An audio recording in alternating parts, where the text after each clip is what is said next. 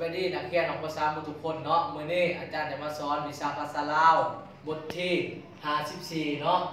ประโยชน์ของไม้ไผ่เนาะก่อนจะเข้าสู่บทเรียน อาจารย์จะถามพวกร้านว่าไม้พวกร้านจักคำว่าไม้บ่ไม้เนาะไม้มีหลายชนิดเนาะพวกร้านรู้จักบ่มีไม้เนื้ออ่อนไม้เนื้อแก่เนาะไม้เนื้อแก่ก็จำพวกไม้ดูไม้แดงเพิ่นเอามาเฮ็ดหยังในไม้เพิ่นเอามาเฮ็ด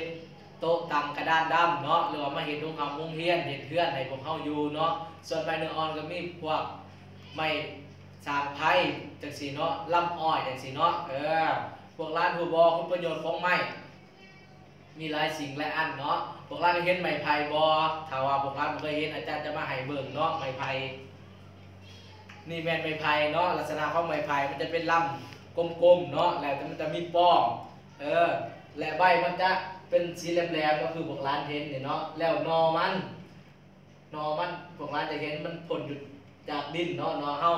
คุณประโยชน์ของนอมันเห็นยังพวกเฮาเอามากินเนาะหรือว่าเอาไปขายเอามาแกงกินเอามาต้มแล้วแต่พวก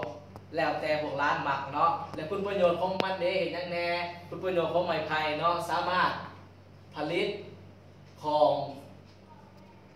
ติบเข่าไส้แล้วก็หวดเนาะเด้เห็นบ่พวกร้าน เขาเจ้าเห็นยังอีกคนเขาเจ้าสารหวนเนาะเออ จากนั้นยังมีหลายสิ่งหลายอย่างเนาะที่ผลิตจากไม้ไผ่เนาะเอาเฮาไปเบิ่งนำกันเลยเนาะเอาวันนี้เนาะพวกร้านสังเกตเห็นบ่วัตถุที่เฮ็ดจากไม้ไผ่เนาะเฮามาเบิ่งตัวจริงกันเนาะนี่แม่นหยังพวกร้านฮูบ่นี่แม่นหวดเด้อเออหวดเพิ่นไว้เฮ็ดหยังเพิ่นเอาไว้นึ่งข้าวเออนึ่งข้าวเฮ็ดหยังไว้กินเนาะหลังจาก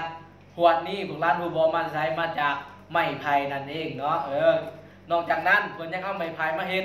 ติ๊บเข่าเนาะเฮ็ดบ่ติ๊บเข่านี่ติ๊บเข่าพวกร้านอามาใส่เข่าคู่มือคู่มือมากินอยู่โรงเรียนน่ะเนาะซึ่งได้มาจากการจัดสารของไม้ไผ่นั่นเองเนาะอ่าหลังจากเฮ็ดติ๊บเข่าแล้วเพิ่นยังสามารถเฮ็ดกระตาเอออยู่กันพวกร้านเฮ็ดกระตาบ่กระตาใส่ไว้หยังกระตาเขาใส่ไว้ใส่วัตถุสิ่งของเนาะเพื่อ